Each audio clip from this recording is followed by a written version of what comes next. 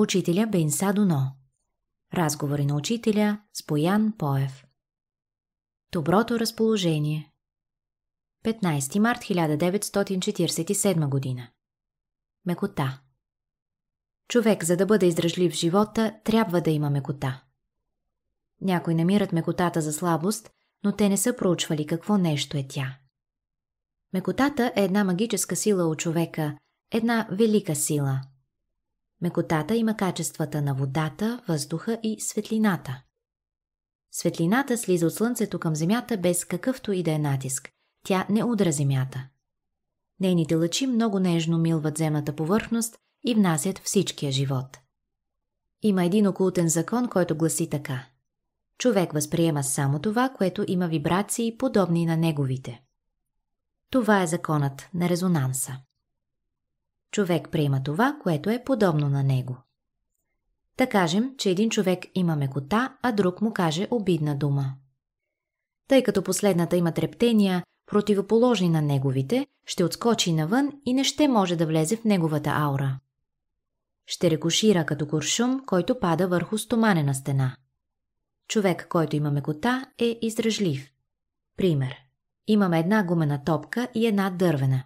Ако удариш силно дървената, ще я повредиш, а гумената ще отскочи и ще възстанови първоначалната си форма.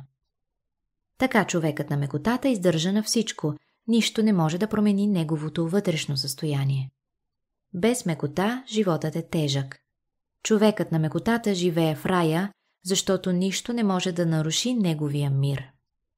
Който няма мекота, много пъти се мести от рая в ада – душата, която е била при Бога горе в своята родина, тя е имала мекота. И сега душата на всеки човек вътре в себе си е много нежна, има мекота. В своята инволюция човек постепенно е потънал в гъстата материя и е изгубил мекотата, нежността, рая и сега проявява твърдост. Някой човек иска да влезе в рая като умре. Тук сега човек може да влезе в една вътрешна хармония, в едно музикално състояние на душата. Това е раят. Някой казва, що ме така, аз желая да придобия мекота. Който казва така, той не разбира въпроса. Мекотата не се придобива. Бог е вложил мекотата като едно първично качество на човешката душа. Човек има мекота дълбоко в своята душа.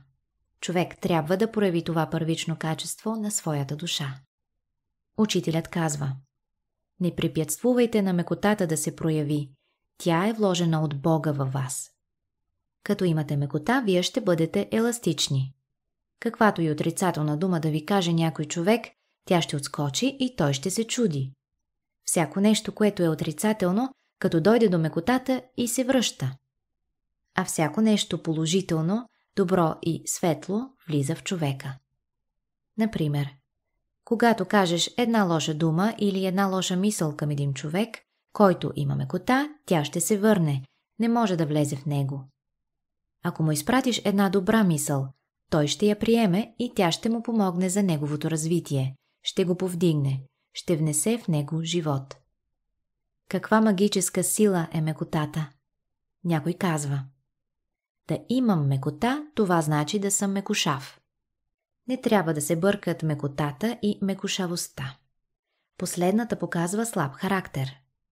Мекотата показва силен характер.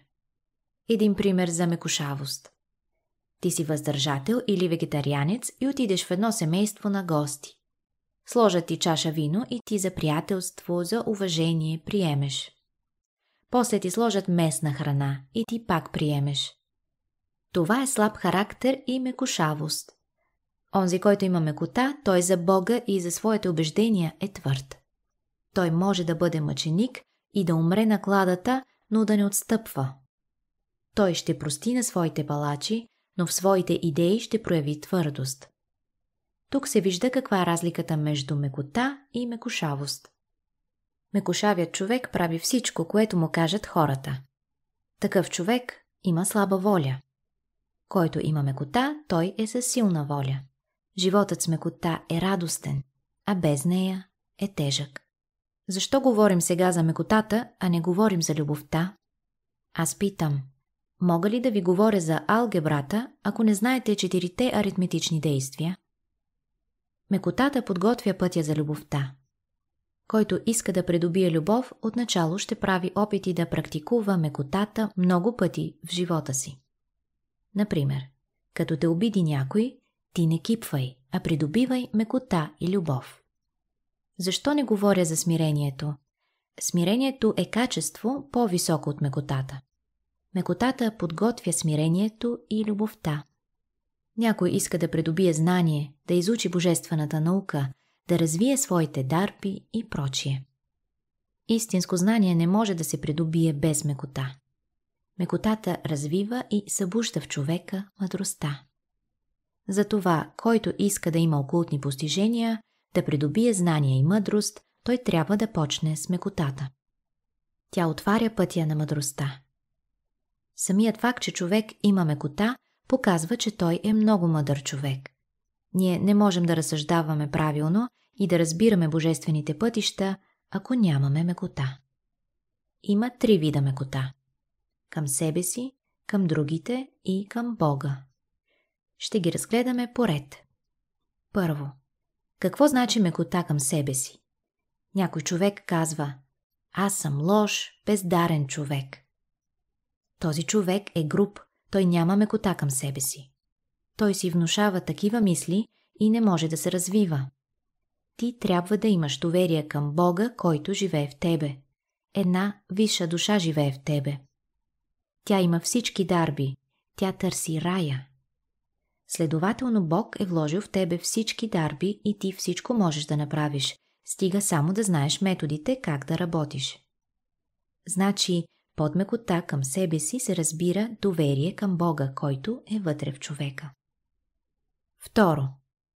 Мекота към Бога значи следното нещо. Дойде ти някое нещастие, заболееш или пропаднеш на изпит. Ти казваш Бог ме е забравил, не ме обича. Щом ти роптаеш и негодуваш спрямо Бога, тогава ти нямаш мекота към Него. Всъщност ти разсъждаваш погрешно. В такъв случай трябва да кажеш така. Бог е любов, мъдрост и истина. Бог е висша доброта и красота. С тези качества той ръководи света и всичко добро иде от него. Страданията идват от хората. Човек със своите криви мисли, чувства и постъпки докарва страданията върху себе си като последствие. Доброто, което е в човешкия живот, е от Бога. Лошото е от хората. Така трябва да разсъждава човек. Такъв човек има мекота. Какво иска Бог от нас? Да не боледуваме, да не страдаме, да не умираме. Първоначално Божият план е бил човек да не умира. След грехопадението дойде смъртта. Има един стих в Библията. Бог не се изволява в смъртта на грешника. Гробовете и носилките са изобретения на човека. В бъдеще човек ще се освободи от смъртта. Няма да има смърт. Даже учителят казва, в шестата раса, особено към средата, човек при заминаването от тук ще се дематериализира и тогава гробища няма да има. Само в музеите ще има ковчези. Който има мекота, той приема Божието благословение. Трето. Какво значи мекота спрямо другите хора? Ако някой те обиди, ти кажи една формула от четири думи. От мен да мине. Защо? Заради Бога. Като запазиш равновесие и не отвърнеш, а подариш една ябълка или поканиш на обяд, този човек става твой приятел.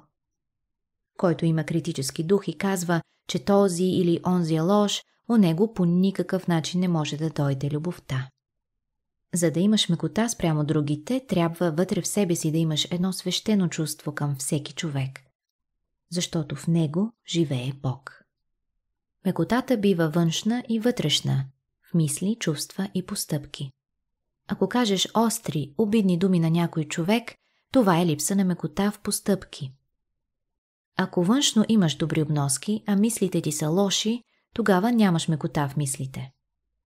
Мекота трябва да има едновременно в мисли, чувства и постъпки. Човекът на мекотата влиза в положението на всички хора. Той е педагог, много умен и тактичен човек. Знае как да се отнася с хората, за да изпълни волята на Бога. Защо трябва да извиняваме хората, които ни кажат някоя обидна дума? Да кажем, че в един клас има двама ученици. Единият силен по математика, а другият слаб. Учителят дава класна работа от три задачи. Единият ги решава правилно, а другият погрешно. Този, който не е решил задачите, не разбира математика, не знае да решава задачите. Така и всеки човек, който нагробява и обижда хората, не може да решава правилно задачите, малко знае и затова пропада на изпита. С това той губи много. Не може да получи Божието благословение. Той има нужда от помощ. Прости му и му помогни. Ако ти кипнеш като него, пропадаш на изпита. Ако запазиш равновесие, издържаш сполучливо изпита. Като виждаш, че другият е по-слаб, съжаляваш го и гледаш да му помогнеш. В човека, който има мекота, се влива свещеният извор на живота. Такъв човек е опитал какво нещо е Божията любов. Тази любов се проявява спрямо всички. Този, който няма мекота, туря преграда между себе си и любовта, която слиза отгоре и не може да я приеме. Човекът, който има мекота, е по-близо до Бога. Без мекота човек не може да върши волята Божия. В един разговор една сестра каза на учителя така. Всички силно желаем да станем слуги на Бога. Власт, богатство не щем. Искаме да служим на Бога. А защо това не става? Кое ни пречи? Учителят отговори. Само за това, защото говорите лошо за другите хора. Критикувате се. Значи нямаме мекота спрямо другите хора. Мекотата носи всички други добродетели и дарби след себе си. Тя прилича на една почва, на която виреят плодотворни дървета, круши, ябълки, череши и прочие. Който няма мекота, той е камениста почва, там нищо не може да вирее. Това е символично. Плодните дървета, това са добродетелите и дарбите. Те ще дойдат при онзи човек, който има мекота. Мекотата освобождава човека от страданията. С мекота всичко може да се постигне. Закон. Мекотата носи подмладяване на човека. Вие виждали ли сте хора в напреднала възраст, но с младенческо сърце? Те са хора на мекотата. Учителят казва Има един начин за мекота на вашите мисли, чувства и постъпки. Който няма мекота, преждевременно остарява. Един човек на мекота до дълбока старо ще запази младенческото и детското у себе си. Хората с мекота имат дълъг живот и това се обяснява научно. Един човек получил голямо наследство. Напуснал работата в чифлика и понеже не бил културен, не знаел как да употреби богатството си. Събрал голяма компания и започнали да го ляят. След 6 месеца изял и изпил всичките си милиони и отишъл пак при чифликчията си да копае като прост работник земята. Същото е раждането на човека на земята. То е голямо богатство. И ако той не го пази и не живее правилно, ще го изгуби. При ядосване, тревожене, отчаиване, при всички отрицателни състояния, аурата на човека се пропуква и той се демагнетизирва жизнената сила е богатството на човека. Човек като един магнит привлича жизнената сила от цялата природа. Затова човекът на мекотата е богат на магнетизъм. Защо изворът привлича всички хора? Защото дава чиста вода. Едно изсъхнало дърво не привлича хората.